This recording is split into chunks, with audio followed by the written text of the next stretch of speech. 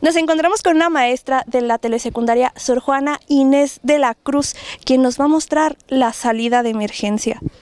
Sí, buenos días, adelante. Mire, esta es la salida de emergencia. Eh, fue creada precisamente por alguna situación emergente, por aquí puedan salir los alumnos. Si te fijas, pues está ya muy, este, con actos vandálicos, pues ya está grafiteada.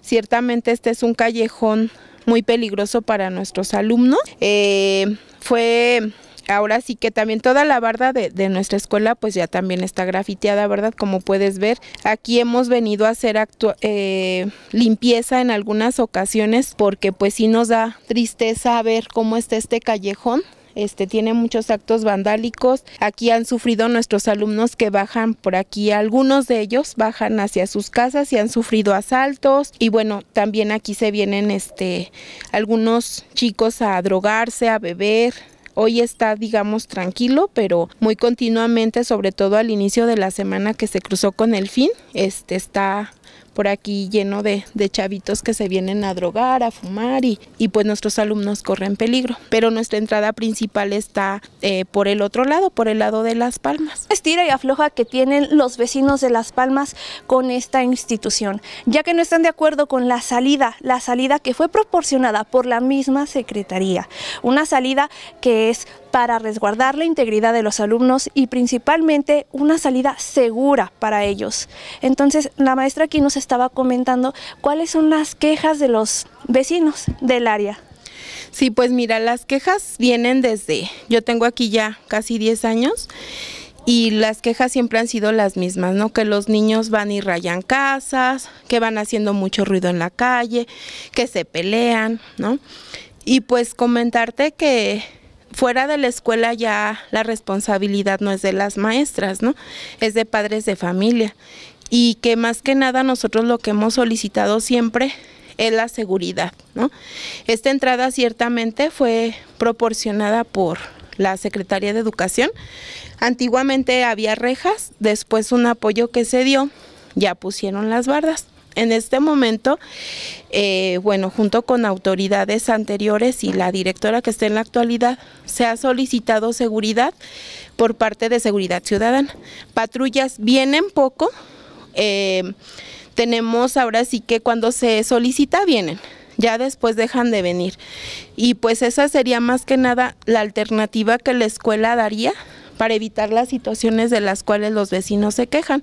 Indudablemente, la entrada no se puede cambiar, eh, porque abajo está la entrada, perdón, la salida de emergencia, pero bueno, como ya hemos comentado, hay mucha inseguridad, hay asaltos, hay venta, hay este, bueno, hay muchas situaciones en ese, en ese lapso de, de callejón que indudablemente va muy lejano a salvaguardar, salvaguardar perdón, la integridad de nuestros alumnos. Entonces, por algo Secretaría puso aquí la entrada. ¿sí? Nosotros lo que seguimos solicitando a las autoridades es la seguridad, ¿sí? seguridad que vengan patrullas, que den su rondina a la salida para que observen el comportamiento de, los chicos, ¿no? Eh, nosotros, esta es la circulación de salida Ciertamente hay papás que no contamos con el apoyo y se siguen yendo por allá, ¿sale? Pero la afluencia es esta, por aquí salen y por aquí deben de llegar hasta arriba. Eh, muchos niños si vienen sus padres por ellos, otros no pero pues ya no es nuestra responsabilidad. De la puerta para afuera, la responsabilidad es de los padres de familia. Es una solución bastante válida y posible, porque en las manos de las autoridades sí está la posibilidad incluso de poner cámaras C4. Eso sería una muy buena opción para la zona. Entonces, pues sí le damos un llamado a las autoridades que vengan y apoyen a la institución precisamente para ya remediar estos conflictos de parte de los vecinos de la zona y la institución. Ya ponerle un fin a esta situación está en sus manos, únicamente necesitamos policías que estén aquí al pendiente, no es necesario que estén 24/7 como nos comenta la maestra, sino en ciertos horarios que sería el horario de entrada, el horario de salida, colocar algunos circuitos cerrados y principalmente empatía de parte de los vecinos de esta área, porque hay que ser honestos, los jóvenes van a ser el futuro, somos el futuro de Guanajuato, somos el futuro de México y si no se nos apoya y se nos ahora sí que discrimina de esta forma como lo que están haciendo, intentando hacer una salida que no es una salida, pues ya estamos actuando mal. Entonces, pues autoridades, manos a la obra y podemos hacer un cambio, un cambio verdadero para la institución. Así es.